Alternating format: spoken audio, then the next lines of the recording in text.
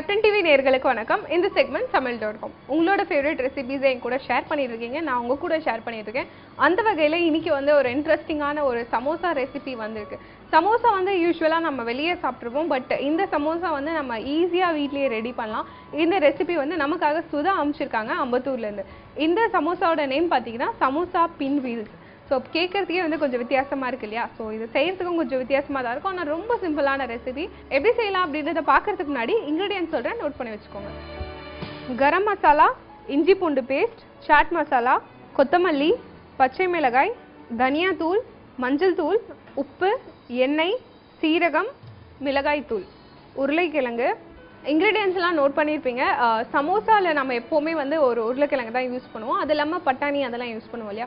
But இந்த pinwheel samosa வந்து நம்ம வெறும் உருளைக்கிழங்கு மட்டும் தான் யூஸ் பண்ணணும். ஏன்னா அந்த பின்வீல் செய்கிறதுக்கு இதை போட்டால் மட்டும்தான் வந்து கரெக்டாக இருக்கும். ஸோ இந்த வெஜிடபிள் மட்டுமே யூஸ் பண்ணி தான் இந்த பின்வீல்ஸை வந்து நம்ம செய்ய போகிறோம் ஸோ ஃபஸ்ட்டு ப்ராசஸ் நான் சொல்லிடுறேன். மைதா நீங்கள் எடுத்துகிட்டு நார்மலாக சப்பாத்தி திரட்டுவோம் இல்லையா? அந்த மாதிரி திரட்டி வச்சுக்கோங்க. பிகாஸ் அது நம்ம முடிச்சிட்டோன்னா அடுத்த ப்ராசஸ் வந்து நம்ம ஈஸியாக முடிச்சிடலாம். மைதாவில் பார்த்தீங்கன்னா சால்ட்டு தண்ணி அண்ட் கொஞ்சம் ஓமம். ஓமம் பார்த்தீங்கன்னா நிறைய ஃப்ளேவர் தரும். உடம்புக்கு ரொம்ப நல்லது. கோல்டுக்கெல்லாம் ஓமம் வாட்டர் வந்து ரொம்பவே நல்லது. ஸோ அந்த ஓமத்தை கொஞ்சோண்டு போட்டு நல்லா மிக்ஸ் பண்ணி சப்பாத்தி மாதிரி இப்போ நம்ம ரோல் பண்ணி தனியாக எடுத்து வச்சுக்கலாம். ஸோ இந்த மாதிரி நல்லா ஃப்ளாட்டாக ஒரு சப்பாத்தி மாதிரி ரோல் பண்ணி தனியாக ரெடியாக வச்சுக்கோங்க.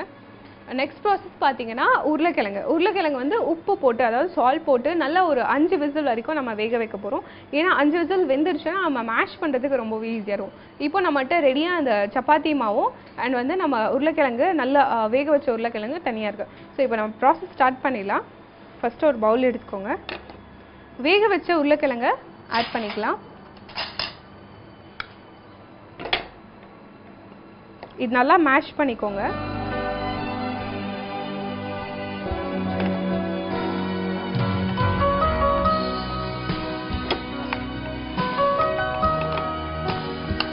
இது நல்லா ஒரு ஃபைவ் டு சிக்ஸ் விசில்ஸ் வரைக்கும் நம்ம வேக வச்சிட்டோம். ஸோ நல்லா மேஷ் ஆயிடுச்சு. அடுத்து நம்ம தேவையான ஸ்பைசஸ் ஆட் பண்ணிக்கலாம். முதல்ல இதில் நம்ம இஞ்சி பூண்டு பேஸ்ட் ஆட் பண்ணிக்கலாம். ஒரு கால் டேபிள் ஸ்பூன் இதில் நம்ம இஞ்சி பூண்டு பேஸ்ட் ஆட் பண்ணியிருக்கோம் அடுத்து இந்த பச்சை மிளகாய் கொஞ்சம் ஆட் பண்ணிக்கலாம். நல்லா ஃபைனாக சாப் பண்ணிக்கோங்க பச்சை மிளகாயை. அடுத்து இதில் சீரகம் ஆட் பண்ணிக்கலாம். ஒரு ஹாஃப் டேபிள் ஸ்பூன் ஜீரகம் ஆட் பண்ணிக்கோங்க. கொத்தமல்லி நல்லா ஃபைனாக சாப் பண்ணி வச்சுக்கோங்க.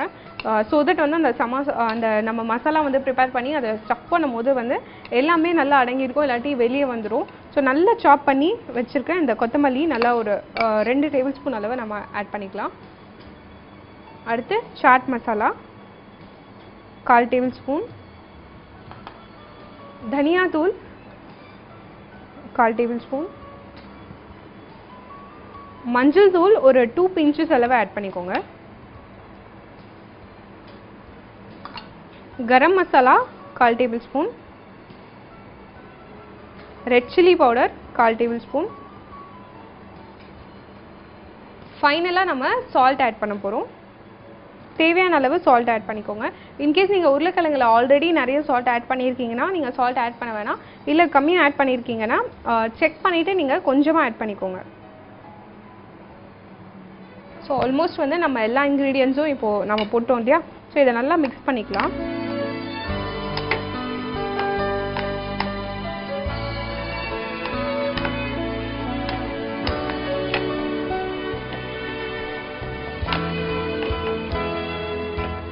ஸோ நம்ம எல்லா ஸ்பைசஸும் நல்லா மிக்ஸ் பண்ணிவிட்டு இதை கொஞ்ச நேரம் எடுத்து வச்சிடலாம். நெக்ஸ்ட் ப்ராசஸ் பார்த்திங்கன்னா நம்ம ஆயில் வந்து ஹீட் பண்ண போகிறோம் இப்போது இந்த மிக்சர் வந்து நான் தனியாக எடுத்து வச்சிடுறேன். ஸோ அடுத்த ப்ராசஸ் போகிறதுக்கு முன்னாடி இப்போது ஒரு கடாய் வச்சு நல்லா ஹீட் பண்ணிக்கோங்க. கடாய் நல்லா ஹீட் ஆனதும் நம்ம இதில் எந்த எண்ணெயில் நீங்கள் வந்து ப்ரிஃபர் பண்ணுறீங்களோ அதை நீங்கள் ஆட் பண்ணிக்கலாம். அதாவது நீங்கள் என்ன எண்ணெய் யூஸ் பண்ணுறீங்களோ அதை போட்டு நல்லா ஹீட் பண்ணிவிட்டு இந்த சமோசா பின் வீல்ஸை வந்து ஃப்ரை பண்ண போகிறோம் ஸோ நல்லா கடாய் ஹீட் ஆனோடனே இந்த ஆயில் ஆட் பண்ணிக்கோங்க. இப்போ நான் ஆயில் வந்து நல்லா ஹீட் ஆகிட்ருக்கு இல்லையா? ஸோ அந்த ஸ்டேஜ் அந்த டைமிங்கில் அடுத்த ப்ராசஸ் நம்ம ஸ்டார்ட் பண்ணிடலாம். இப்போ நம்ம ரோல் பண்ணி வச்சுருக்கிற இந்த சப்பாத்தி எடுத்திருக்கோம். ஸோ ஆல்ரெடி நான் சொன்ன மாதிரி சால்ட்டு தண்ணி அண்ட் வந்து கொஞ்சம் ஆயிலு ஓமம் இந்த நாலு மட்டுமே போட்டு நம்ம நல்லா அந்த மாவை பிசைஞ்சு வச்சுருக்கோம். ஸோ அடுத்து இதில் நம்ம இந்த மிக்சர் அதாவது நம்ம அந்த பொட்டேட்டோஸில் ஸ்பைசஸ் போட்டு மிக்ஸ் பண்ணி வச்சுருந்தோம் இல்லையா? ஸோ அந்த மிக்சர் ஆட் பண்ணி நல்லா ரோல் பண்ணிக்கலாம். அடுத்து இதில் எப்படி பின்வீல் செய்கிறது அப்படின்றத நான் சொல்கிறேன்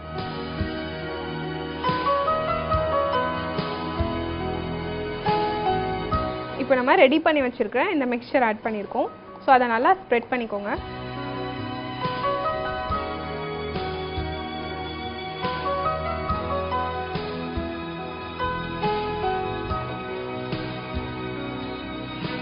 ஸோ இதை நல்லா ஸ்ப்ரெட் பண்ணிட்ட பிறகு இந்த சப்பாத்தியை நம்ம ரோல் பண்ணிக்க போகிறோம் ஸோ நல்லா கேர்ஃபுல்லாக இந்த சப்பாத்தியை நீங்கள் ரோல் பண்ணிக்கலாம்.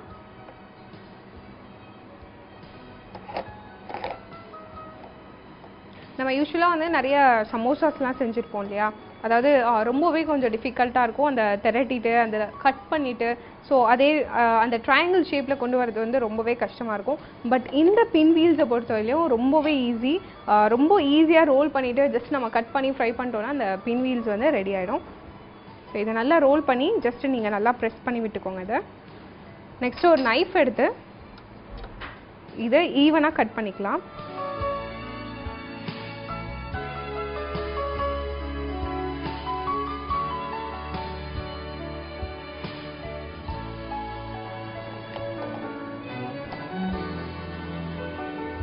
ஸோ இந்த மாதிரி டோட்டல் ரோலை இந்த மாதிரி நைஃப் யூஸ் பண்ணி கட் பண்ணிக்கோங்க.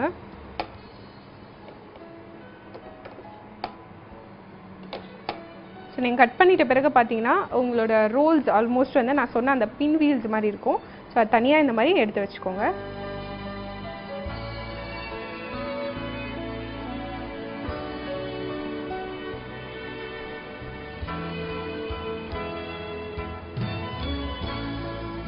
இப்போ நம்ம பின் வீல்ஸ் பார்த்தீங்கன்னா ஆல்மோஸ்ட் வந்து ரெடி ஆயிடுச்சு. நெக்ஸ்ட் நம்ம ஒரு கப்பில் கார்ன்ஃப்ளவர் அல்லது மைதா. நீங்கள் ரெண்டில் எது வேணால் யூஸ் பண்ணிக்கலாம். இப்போ நம்ம கார்ன்ஃப்ளவர் எடுத்திருக்கோம். ஸோ அதில் கொஞ்சம் வாட்டர் ஊற்றி ஊற்றி நல்லா மிக்ஸ் பண்ணி எடுத்து வச்சுக்கோங்க.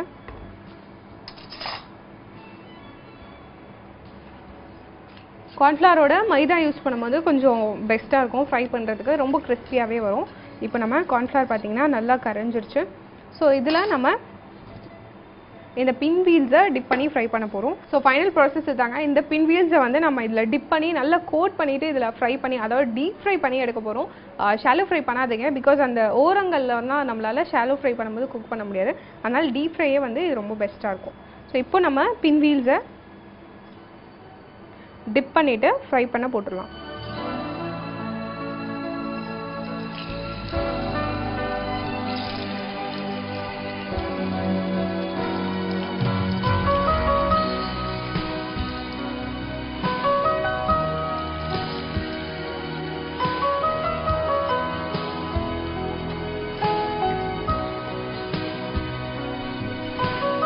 நம்ம ரெடி பண்ணி வச்சோம்னா இந்த பின் வீல்ஸ் இதில் ஆட் பண்ணிட்டோம் இல்லையா?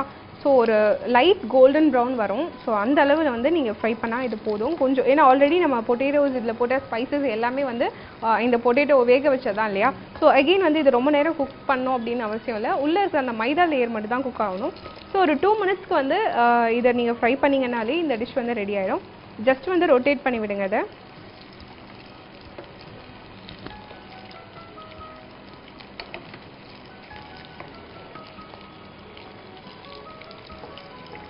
எந்த ஆர்டிஃபிஷியல் கலரும் ஆட் பண்ணாததால் இந்த பின் வீல்ஸ் பொறுத்தவரையும் நார்மல் கலரில் தான் இருக்கும். இப்போ நம்ம சமோசாஸ் எல்லாம் பார்த்தீங்கன்னா கலர் கொஞ்சம் சேஞ்ச் ஆகிருக்கும் இல்லையா? ஸோ அதில் வந்து கொஞ்சம் கலர்ஸ் ஆட் பண்ணுவாங்க. பட் எந்த கலர்ஸும் ஆட் பண்ணலன்னா அந்த ந- மைதாவோட கலர் வந்து நேச்சுரலாகவே அப்படியே தான் இருக்கும். ஸோ இது கொஞ்சம் ஒரு டூ மினிட்ஸ்க்கு நல்லா ஃப்ரை ஆனவுடனே எப்படி வந்திருக்கு? அதாவது இந்த சமோசா பின் வீல்ஸ் வந்து எப்படி வந்திருக்கு அப்படின்றத நம்ம டிஸ்பிளேல பார்க்கலாம்.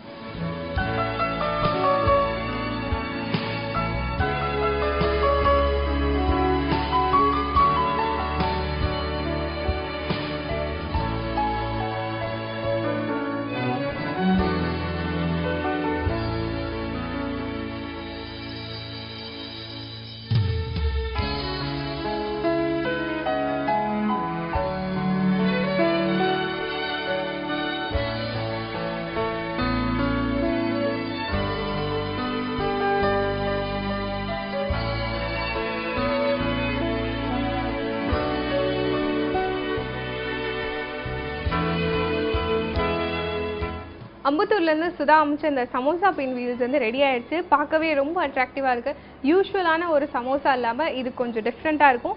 அது இல்லாமல் இந்த சமோசாலாம் பார்த்தீங்கன்னா டேங்கி டேஸ்ட் இருக்கும். அது ஏன் அப்படின்னு பார்த்தீங்கன்னா நம்ம சாட் மசாலா ஆட் பண்ணியிருக்கோம் அப்படி இல்லைன்னா உங்களுக்கு காஞ்ச மாங்காய் பவுடர்னு விற்கும் அதாவது மேங்கோ பவுடர் அப்படின்னு கூட விற்கும் சாட் மசாலா இல்லைனா நீங்கள் அது கூட ஆட் பண்ணிக்கலாம். ரெண்டில் எது வேணால் நீங்கள் யூஸ் பண்ணிக்கலாம். பட் இந்த ரெண்டு விஷயம் தான் இதில் வந்து ஒரு டேங்கி ஃப்ளேவர் வந்து உங்களுக்கு கொடுக்கும். கண்டிப்பாக மிஸ் பண்ணாமல் ஒவ்வொரு இன்க்ரீடியன்ஸும் நோட் பண்ணிவிட்டு மறந்துருந்தீங்கன்னா ரீகேப்பில் பார்த்துட்டு நோட் பண்ணி வச்சுட்டு கண்டிப்பாக செஞ்சு பாருங்கள் ஒரு ஸ்நாக்குக்கான ஒரு ஆப்டான ஒரு ரெசிபி இன்னொரு ஒரு விஷயம் வந்து நான் ஆல்ரெடி சொல்லியிருக்கேன். மைதாவை வந்து நிறைய நீங்கள் அவாய்ட் பண்ணலாம். அது எப்படின்னா மைதாவை அவாய்ட் பண்ணிட்டு இதே வந்து நீங்கள் அந்த கோதுமை அப்படின்னு சொல்லுவாங்க இல்லையா? கோதுமை மாவு. ஸோ அதை யூஸ் பண்ணி கூட பண்ணிங்கன்னா ரொம்பவே ஹெல்த்தியாக இருக்கும். இதே மாதிரி ஒரு நல்ல ரெசிபியோட உங்களை நாளைக்கு வந்து சந்திக்கிறேன். Till then bye from Reshma samosa pinwheels எப்படி செய்யலாம் அப்படின்ற ரீகேப் பார்க்கலாம். ஃபஸ்ட்டு ஒரு பவுல் எடுத்துக்கோங்க. அதில் வேக வச்ச உருளைக்கிழங்க நல்லா மேஷ் பண்ணிக்கோங்க. நல்லா மேஷ் பண்ணிட்ட பிறகு இஞ்சி பூண்டு பேஸ்ட் பச்சை மிளகாய் ஜீரகம் கொத்தமல்லி சாட் மசாலா தனியாத்தூள் மஞ்சள் தூள் கரம் மசாலா மிளகாய் தூள் உப்பு.